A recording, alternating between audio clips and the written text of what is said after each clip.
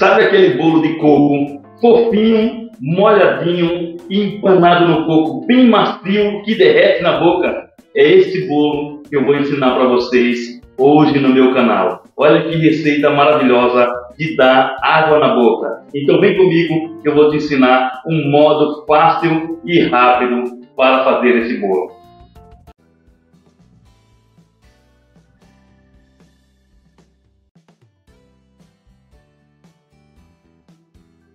Bom pessoal, olha só, nós vamos começar esse bolo adicionando os ovos na batedeira e aqui eu não estou fazendo pão de ló. Eu vou adicionar os ovos, o açúcar e vou colocar para bater até essa massa ficar esbranquiçada, até os ovos ficar claros e criar volume. Olha só, cresceu, o que acontece? Eu vou adicionar óleo, eu vou deixar todas as quantidades na descrição do vídeo e também vou adicionar essência de baunilha e vou deixar bater durante uns 3 minutinhos e aí eu vou adicionar a farinha que eu peneirei. Não só a farinha, como o açúcar também, gente. Eu não estou fazendo pão de ló, eu estou fazendo uma massa de bolo na batedeira, onde eu vou, você pode também usar um liquidificador para bater os líquidos e depois em outro recipiente adicionar os secos ou fazer na mão mesmo em um recipiente. Adicionei toda a farinha, agora eu vou adicionar leite é, morno, não é em temperatura ambiente. Eu dei uma mornada nesse leite, temperatura de mamadeira de criança e vou adicionar a minha massa.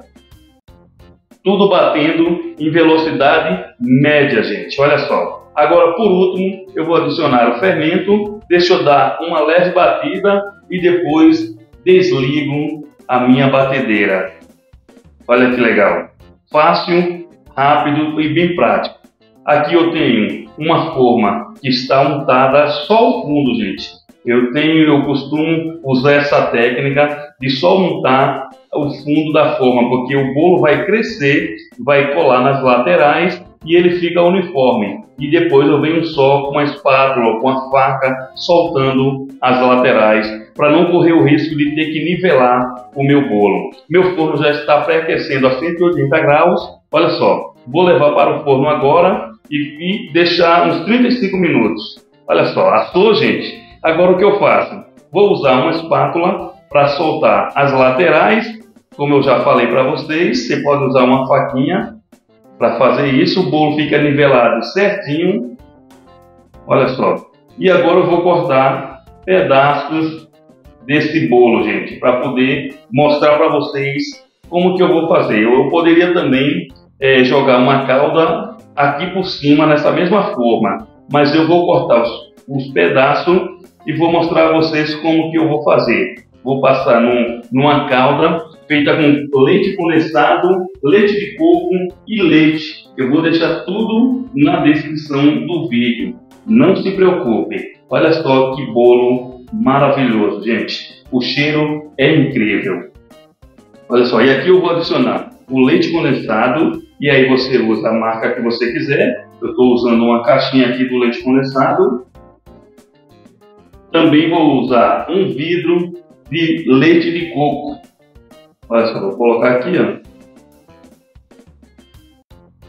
Leite de coco e a mesma quantidade do leite de coco eu vou adicionar aqui de leite.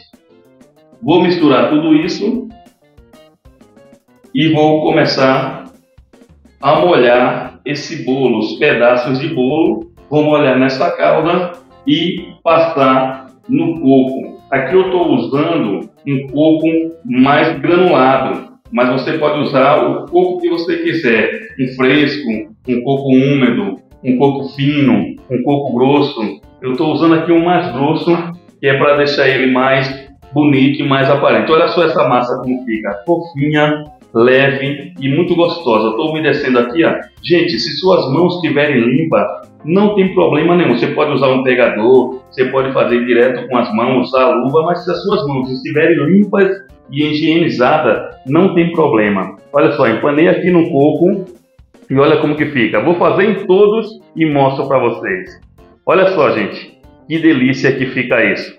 Olha só, Agora eu vou mostrar para vocês uma opção para você dar de presente, para você vender ou até mesmo fazer porções individuais e servindo aos poucos ao sua visita, ao seu convidado. Olha só, um pedaço de papel alumínio, você vai, vai dobrar as laterais como se estivesse fazendo um embrulho para presente. É muito simples, fácil, e aí você pode fazer o embrulho ou a dobra que você quiser. Eu estou fazendo aqui uma simples só para mostrar a vocês. Olha só, dobrei aqui, ó. Ele mantém mais geladinho, mais umedecido, bem molhadinho dentro da geladeira se você deixar. Olha como fica bonitinho e gracioso para você dar de presente. Valeu!